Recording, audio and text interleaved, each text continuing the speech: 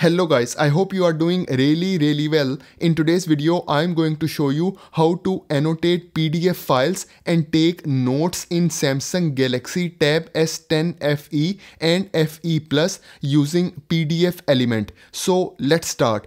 First of all, a big thank you to Wondershare PDF Element for sponsoring this video. The first feature is about PDF annotation with S Pen. So I will open Wondershare PDF element and here is the interface for this app. I will select this plus icon and then I will open my files. And for example, I will open this PDF file and now I want to annotate this PDF file. So here at bottom we have different tools. I will select comment tool and then it will show you all the necessary tools for PDF annotation. Now I want to write on my PDF file. So I will use this pen tool and then I will start writing on my PDF file using my S Pen. The next thing is you can highlight any text inside your PDF file. So for example, I want to highlight this text. I will use this highlighter tool and then I will start selecting my text. So I will select this text till here and now you can see the same text is highlighted. Same way you can also underline any text. So I will use this underline tool and then I will start selecting my text using my S Pen. So here you can see the same text is now underlined. You can also add different shapes inside your PDF file. So I will select this shape tool and then I can easily add this shape to my PDF file. You can also customize these tools. So for example, I want to change this shape. First of all, I will select this settings icon. Here it will show me different different shapes. I can select any shape from here. I can also change the color. I can change the line width and I can also change the opacity. Now I can add this new shape to my PDF file.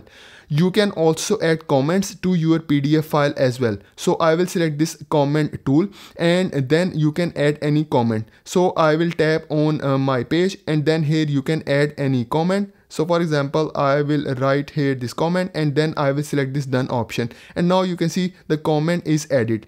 Once you finish, you can also save it and then you can export your PDF file. The next feature is about text editing. So for example, I want to edit this text. I will single tap on my screen and then I will select this edit tool. And then I have to select my text. So I will select this text and then I will select this edit option. It will open this keyboard and now I can start editing my text. So I can easily remove any text and I can also add new text in this PDF file. So here you can see I can easily edit this text. Once you finish with your editing, you can select this done option. You can also use other text tools. So for example, you can use this bold tool so here you can see you can use this bold tool you can also use this italic tool and then you can also use this size tool so you can increase or decrease the size for your text inside your pdf file you can also use this font style tool. So you can change the font style for your text and you can also change the color for your text. So here you can see i can easily change the color. You can also change the text alignment as well. So here you can see i can easily change the alignment for my text you can also delete any text from your PDF file. So for example, I want to delete this text. I will single tap on my screen. Then I will select this edit tool. Then I will select this text. And here you can see we have these three dots. So I will select these three dots. And here we have this delete option. So I will select it. And now you can see the text is deleted from my PDF file. The next feature is about image editing. So for example, I want to edit this image. First of all, I will tap on my screen and then I will select this edit tool and then I will select this image. Now I can move this image anywhere inside this PDF file. So here you can see I can move it anywhere inside this PDF file and I can also resize this image as well. You can also extract this image to your gallery. I will select this extract image option and then this image will automatically extract it to my gallery. So for example, I will open my gallery and here you can see the same image is available over here and now now I can use it. The next thing is you can also replace this image with another image. So here we have this replace image option. I will select it and then you can select any other image. So for example, I select this image and then I will select this replace option. And now you can see I have a new image available and now I can also edit it. You can also delete any image. So you just have to select this image and then you have to select these three dots and then you will see this delete option. I will select it and now you can see the same image is deleted. The next feature is about fill and sign. So first of all, you have to select this fill and sign option. Now, for example, I want to add my signatures on this line. I will select this signature option and then I will select create option. And then I will use my S Pen to create my signatures. And then I will save these signatures. And now I want to add these signatures on this line. I will single tap on my screen. And here you can see my signatures are available.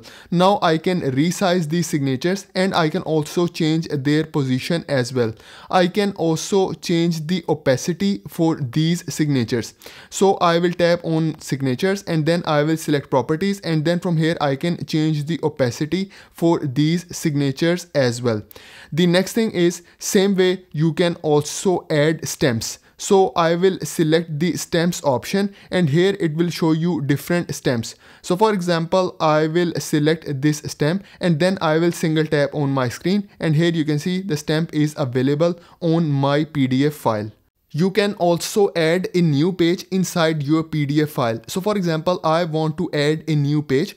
I will select this pages option. It will show you all the pages for my PDF file. So for example, I want to add a new page after this page. I will select this add option and then I will select blank page. So here you can see a new page has been added. Now if I go back and here you can see after this page I have this new page available. Now I can easily take notes on this page and I can also use other tools as well.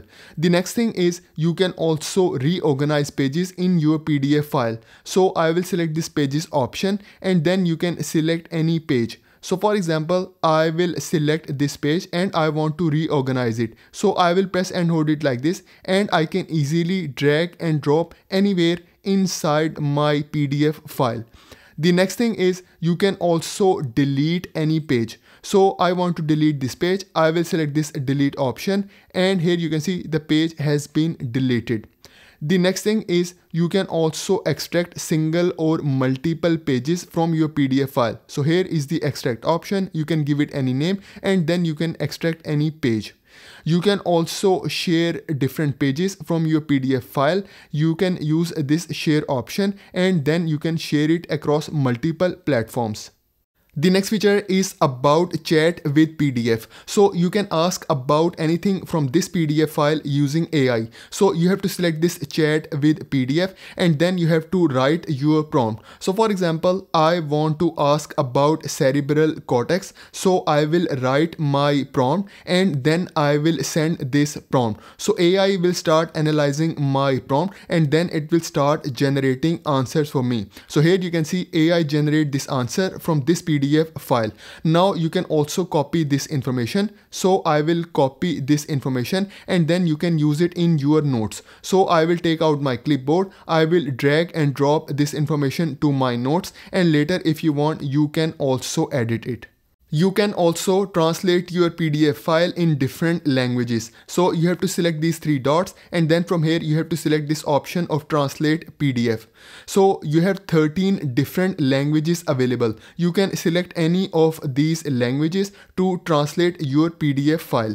You can also convert other file formats to PDF file. So first of all, you have to select this tools option and here you can see you can convert image to PDF, word to PDF, PowerPoint to PDF and Excel to PDF.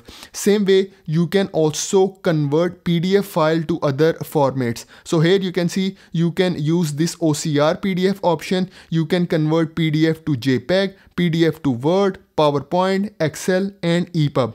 You can also use this optimize PDF option. So here you can compress your PDF, you can merge PDF and you can also crop your PDF file.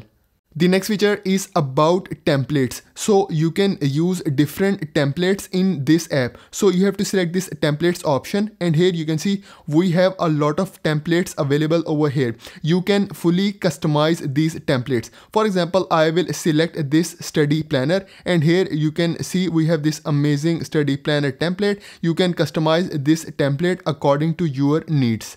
You can also categorize your PDF files according to folders and subfolders. So here inside local tab, it will show you all of your folders. To create a new folder, you have to select this plus icon and then from here you have to select this folder option and then you have to give it any name. So for example, I will write here test and then I will select this create option and here you can see a new folder has been created. Now I will open this folder and inside this folder you can create a subfolder. You can select this folder icon and then you can give it any name.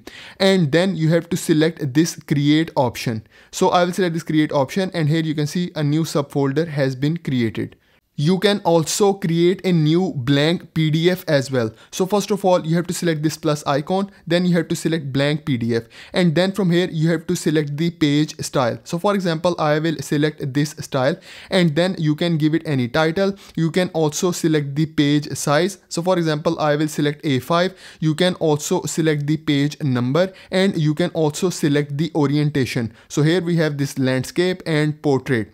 And then you have to select this create option. So I will select this create option and here you can see a new blank PDF is available. Now I can start working on this PDF file. You can also backup your PDF files to PDF element cloud. So here we have this PDF element cloud and now you can access your files across multiple devices.